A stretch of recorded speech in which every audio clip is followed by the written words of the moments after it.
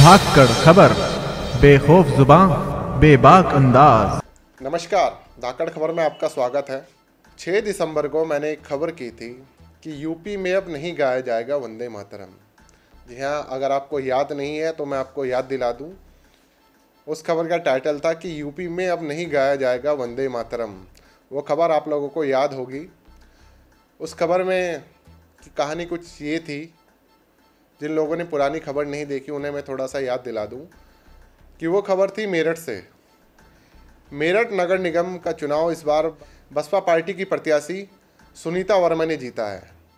और उनसे जब एक पत्रकार ने सवाल किया कि पिछली बार की तरह क्या इस बार भी नगर निगम में वंदे मातरम गाया जाएगा, तब उन्होंने स्पष्ट कर दिया था कि हम लोग संविधान के हिसाब से चलेंगे।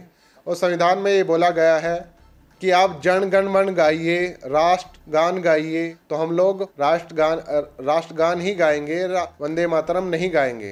पिछली बार नगर निगम में भाजपा प्रत्याशी जीते थे एहलू वालिया जिन्होंने ये वंदे मातरम लागू किया गया था, जिसको लेकर मुस्लिम पार्षदों में काफ़ी रोष था, वो काफ़ी नाराज़ रहे थे, और उन्होंने वंदे मातरम के दौरान, जब वंदे मातरम गाया जा रहा था तो उस वक्त वे लोग बाहर निकल गए थे। वंदे मातरम के दौरान वो लोग बाहर निकल गए थे। बाद में लेकर इसको विवाद काफ़ी बड़ा। जो मेयर रहे थे, अहलू आलिया, उस, उन्होंने ये बोल दिया था कि जिन लोगों ने वंदे मातरम का अपमान किया है, उसका सम्मान नहीं किया है, उनकी सदस्यता रद्द की जाएगी। बाद में ये मामला बहुत तूल पकड़ा। खैर, अब हम बात करते हैं आज की। उस दिन मैंने आपसे बोला था कि हो सकता है कि आने वाले टाइम में ये मुद्दा फिर से गरमाए और वंदे मातरम को लेकर फिर से कोई विवाद शुरू हो जाए। कल भाजपा के सभी नवनिर्वाचित पार्षदों की मीटिंग हुई, जिसमें भाग लिया पूर्व प्रदेश अध्यक्ष लक्ष्मीकांत वाजपेयी ने। उन्होंने निगम पार्षदों से आग्रह किया कि पब्लिक की समस्याओं को सुने और जनता के लिए काम करें। पार्षदों ने अपनी मीटिंग में ये भी ये भी बोल दिया कि हम लोग,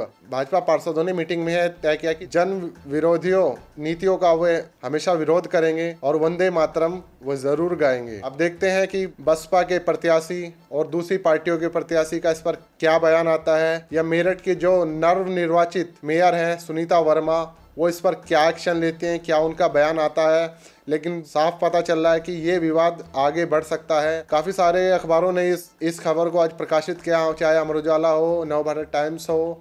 हमारे सूत्रों से ये भी पता चला है कि ये मामला शायद आगे तूल पकड़े और वंदे मातरम को लेकर फिर से कोई नया विवाद शुरू हो जाए। आज के लिए फ़िलहाल इतना ही।